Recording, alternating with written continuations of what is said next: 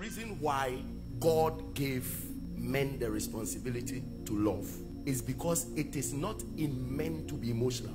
So God commanded men to love against our nature.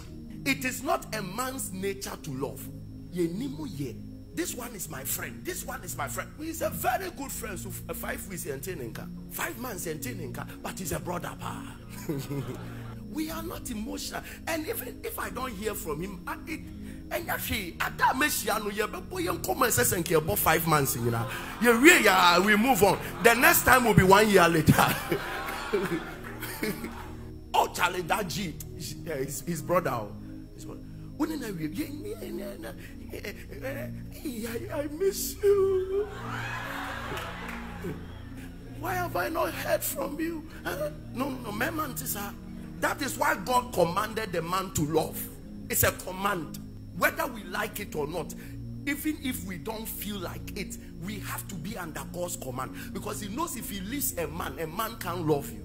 That's why if you leave a man eh, before sex romance is nothing. I but the woman the romance is where she feels the love the compassion the but it's not in the man to and no man no ne ntam na me nko it's only few men that that embellish things. Men are straightforward. A man can really love you but you will never know. That's why most at times when breakup happens it's sometimes genuine relationships from the beginning it affects the woman but later it affects the man because it is later the man realized that, ah, come on, I had feelings I didn't know. When two people who are genuinely in a relationship breaks up, the first three months is the woman that cries because they are emotional. And the man will be doing that. Hey, I'm a child. Child, I'm going. And, yeah, sorry, I will test it, test it.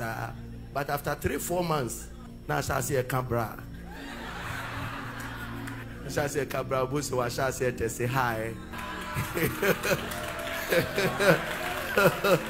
What I said hi. But because women are emotional, first three, four months so sad. So she cries all her pain away. I feel no no tears. What was I say church or no maybe was status.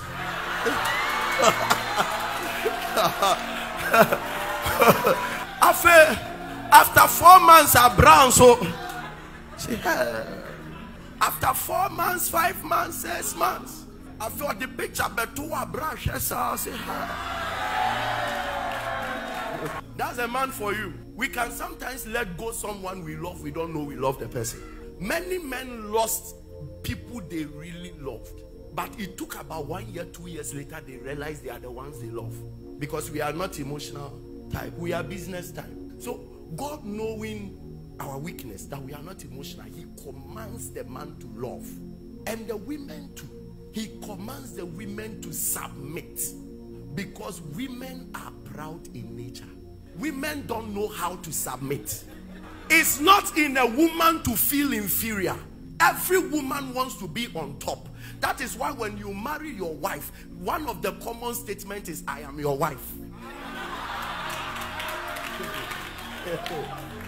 she will always remind you that I'm your wife. I'm above that. I'm above this person. You can't treat me this way. I cannot do this. I cannot be this. She, if you forget, she'll remind you three times a day. the reason why God commanded you to submit because He knows you that he planted something in you. Because the moment he brought you he didn't bring you to be helped. He brought you as a helper. Every helper has something more than the one he's coming to help. So deep within a woman feels that he knows better than a man. So if a man and a woman miss a woman wants her ideas to be implemented. A woman wants her wish to be done. A woman thinks that the way her picture the way she sees life is how the family should be built so, God knowing such weakness in women, He commands submit. So, God didn't tell you submit because you are humble, He told you submit because He knows you are proud. Manuwe Maka. Have you realized as it stands now, what is pushing in this world? Feminism equalism, that, that. You, you see the way they are heralding it? Because that's who they truly are. So if you find a woman who is submitting, you have found somebody who fears God.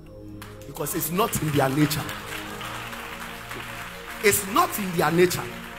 Any woman that submits to you as a man really is a fearer of God, a lover of God. I'm telling you, she is actually living contrary to who she is, and it hurts them every day. A woman wants to be in charge, a woman wants to be in control, but God has changed it by word, not by nature. I wish that God changed it by nature, but He didn't. He only changed it by word to test your obedience to Him.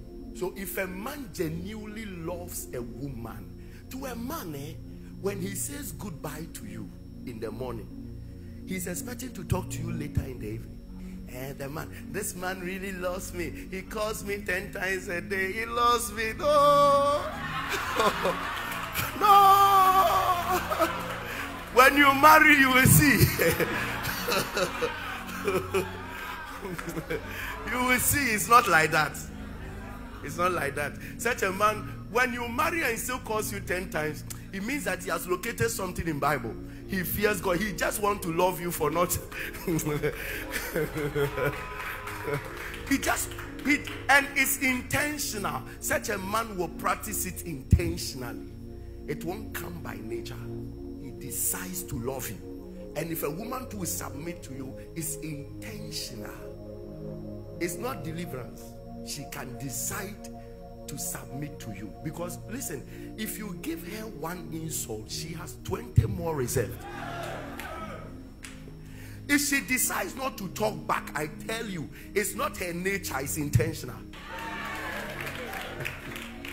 Every word you speak against a woman, she has running over, pressed down, shake it together, running over to give to you. I tell you, if you talk against your wife anyhow, you insult your wife anyhow, you humiliate your wife anyhow, and she quietly walk away. I tell you are seeing somebody who is after God's heart. On Jimmy, a woman does not need to go to university to be proud. A woman does not need to go to university to fight for superiority. Ah, Apostle Solomon kai. But say it's better to live at the rooftop than to stay in the room in the same house with a nagging woman. A woman can deal with you. There are presidents who fear nothing but their wives. If you really want to be happy in life, I'm not saying make your wife happy. No. Let her feel you want her to be happy. A real one. What friend? Baby, have you eaten? Oh no. Oh, you should have called me. My break time is over. I would have gotten you a lunch. I would have ordered my. Oh God. Oh God. Please, um, next time, just let me know quickly. Please find something to eat and then. Look at this my guy. This my guy. this my guy. Just let her let her feel you want her to be happy. If a woman declares war against you, you are finished. Even if you divorce, she will still come after you. No matter how strong you are, your woman is stronger than you. Accept it. Listen, whether you like it or not, your woman is your strength. I want to tell you, young men, women are powerful. Don't joke with it. It was by a woman Adam fell. Share. Satan visited the woman, and the woman worked out Adam's destruction. When God came, he also worked through the woman. The seed of the woman will bring the solution. One day you understand. All your problems, young man, all the problems at home, some of them will come through the woman. All the blessings too. Ojiga problem aba. Nenijia inshiraba. Choose. So every morning you have to make a choice. It is marriage that God used to train us all. If God wants to train you, He gives you a woman. he will dash you one nice woman. Who didn't do fear? You understand scriptures. scriptures will come alive when God talks about patience. This is how we lose life. Women are wonderful tools in the hands of God.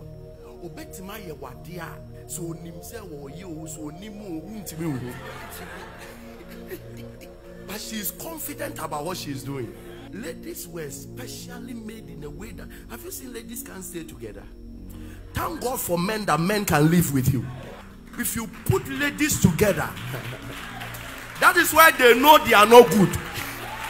That is why they start to appreciate men. Because what you do to men, that men will just